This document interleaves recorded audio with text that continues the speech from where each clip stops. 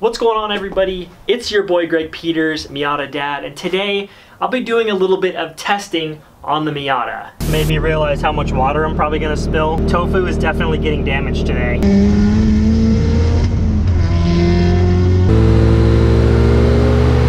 But for those of you that haven't seen the last couple videos I posted, I'm dealing with a driveline vibration that the Miata has had for about a year. I have the BMW transmission swap in there and I have not been able to get it running smooth yet and myself and a few other people are having this issue so I've been working really hard to try to figure out what it is. I've gotten tons of suggestions from you guys at home that are watching which I'm greatly appreciative of but I can tell that a lot of them did not really watch all the videos. Not that I expect you to like sit through a 25 plus minute video and pay attention to all of it, I mean that's like a short class, but my goal for today's video is to run a few tests on the Miata to really demonstrate the type and severity of the issue and automatically eliminate a lot of the things that people have been suggesting so I can move forward and um, hopefully get this thing solved and get back to our regularly scheduled programming. Luckily the car does exhibit the problem while it's just on jack stands which might make it a little bit easier to chase. So I've got five cameras including the one that you are watching me through to set up different angles and show different things to give you guys a really good explanation of what's going on here. And uh, it's also kind of a test that you could do at home on your own Miata to compare. So without further ado, let's jump into it. Oh yeah, and as part of the troubleshooting process, I did go ahead and decide to pull the Getrag 260 kit out of my car and I'm switching over to the Miata ZF kit. Both kits are extremely similar, but the ZF transmission is 10, 12 years newer, way lower miles, it's stronger. Not that I think that's gonna solve the problem, but if I'm gonna keep diving deeper and deeper into this car, I want to convert to the ZF anyways because at the end of all this, I want the car to be perfect. So I'll be swapping that in somewhat soon when the kit arrives and take that from there. But for today, I am gonna be testing it with the Getrag 260 transmission. Not that one obviously, but the one that's inside the car. I've got it up on jack stands and have the front wheels chalked and that'll let me safely spin those rear wheels up to highway speed. I've also got my trusty container of water here which I'll use to measure the level of the vibrations. And I also want to do these tests so when I'm moving forward in the troubleshooting process I have some kind of data aside from just the butt dyno which the butt dyno is kind of the most important part because this is all about improving the driving experience of the car. But at least with this, I can compare the footage back to back and as I change things, I can see like, oh, it actually did get a little bit better or maybe worse. I just like to keep track of stuff as much as possible like that. But I forgot to mention earlier, if you have no idea what I'm talking about, I'll link all of my previous videos on this topic in the description below. Uh, the first thing I want to do here is just a couple little tests. So for starters, no pun intended, let's take a look at startup and idle with some relatively stiff polyurethane motor mounts. A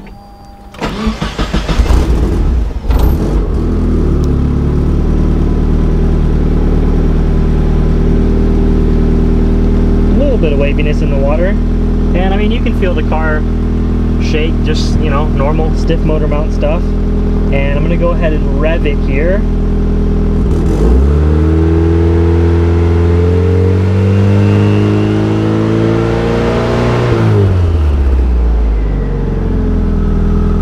and now we'll put the car in fifth gear and take take the wheel speed up to various levels which I'll post on screen so you can see how the water looks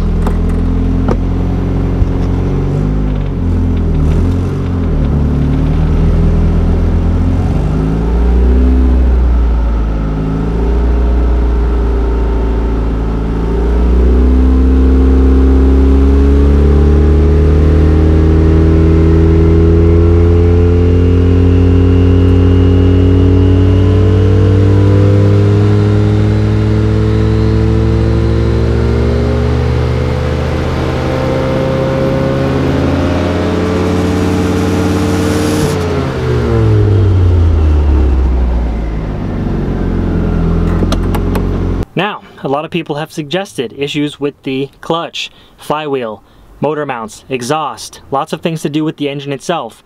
Now this test is of course going to disprove all those because I'm going to shut the engine off with the wheels still spinning and you'll be able to see the resulting vibration in the water with that engine cam to show you that the engine has fully shut down.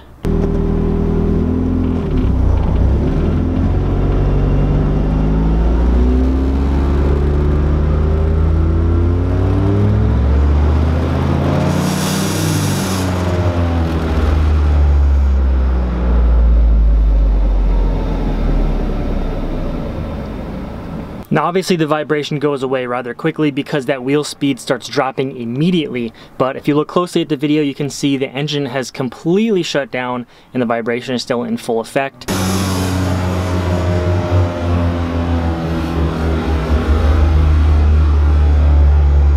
which means it is occurring somewhere between the output flange of the transmission and the wheels. And that's another thing people are suggesting is your wheels are off balance. Your tires need to be balanced. So the next test, I'm going to remove the wheels completely and we'll see what happens. Now for this test, you do need to install two lug nuts and kind of snug them down.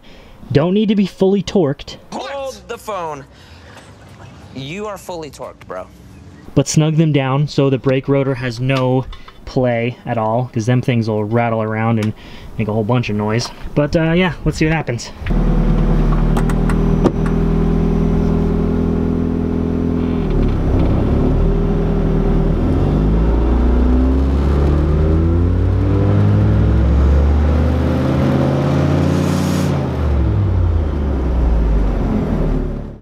Guys that are not familiar with the kit, it is a very basic recipe for any transmission swap kit.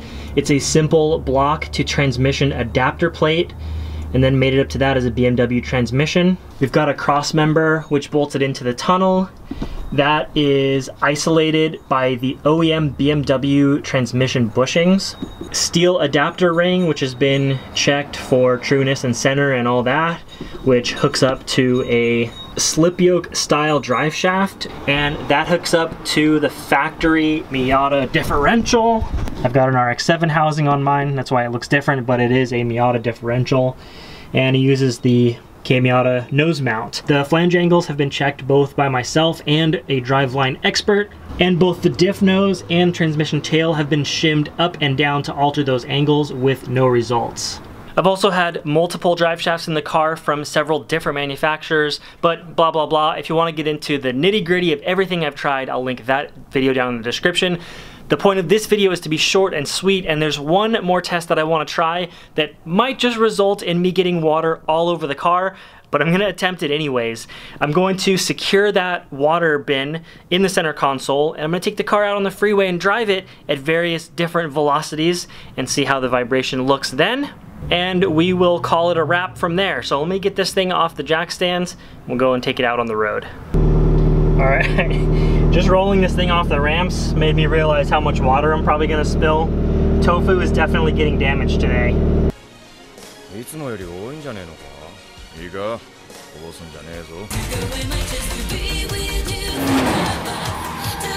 Oh my god.